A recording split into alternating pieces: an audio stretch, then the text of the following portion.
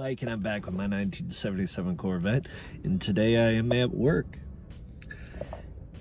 Well, that's not what this video is about. It is about the Corbeau A4. I got them installed in the 77 here and I'm going to give you a quick couple pros and cons. So pro, they are a lot more supportive. I am a 35 inch waist. There they are in black micro suede, their mid-grade option. You have the shaved cushions, which are a must in the C3, doesn't matter what year. And then they do offer these in wide. The wide is going to be too tight. Uh, wide is for any passengers over 40 inch waist and I would say 40 inch is probably just pushing it, but you will fit in here and the cushions will conform to you. The cushioning rather, or the bolstering. This is a synthetic leather uh, support to give kind of uh, a little bit more premium feel that can be conditioned with normal leather conditioner, but the black micro suede, if you use proper conditioner for my uh, for suede, it will last a long time. And this will stay a lot cooler than the black leather option that these come in. I did order direct from Corbeau.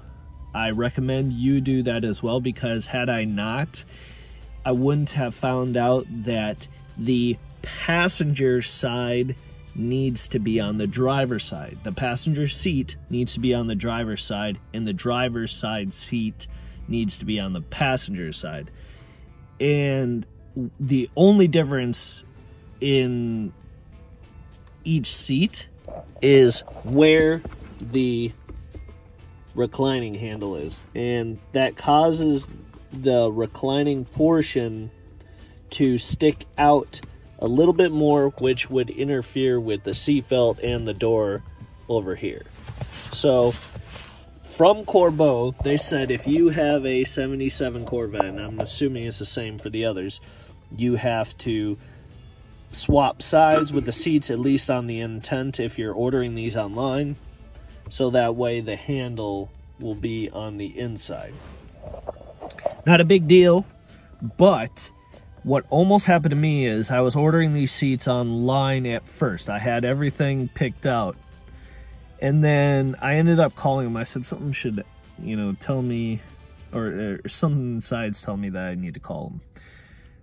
I called them. They said, yeah, you got to swap the sides. Uh, so if you intend on ordering the lumbar option, like I did, which mind you is very nice, adds a lot of bolstering to your lower back, or lumbar rather, sorry.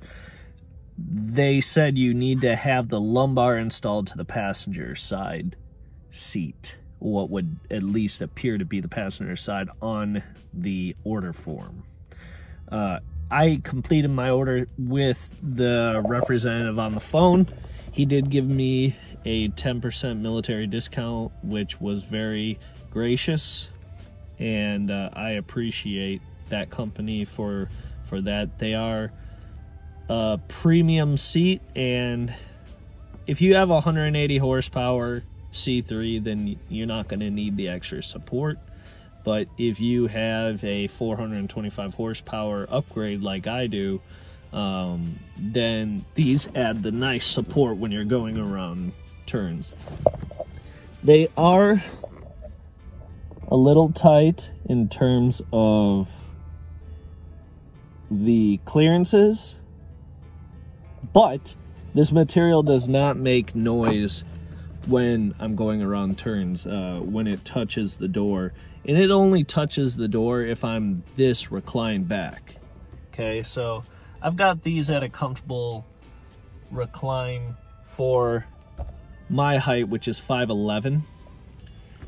If I were a 6'2 passenger, I'd be pushing it, but you could recline this seat even further, and I'll show you, which is kind of nice. An upgrade from the, um, from the original seats. I couldn't recline near this, okay? which will give me a little bit extra room, but you're driving at a decent angle, but it's the price you pay when you want to drive your C3. Anyway, I'm not trying to make this video too long. I do recommend these seats. I would not get them without the shaved cushions. I would get lumbar at least on the driver side and shaved cushions option is a must.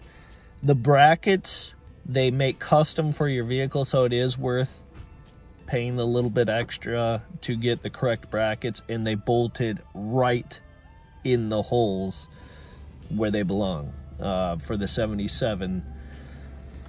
The brackets bolted to the seat with included hardware with these seats.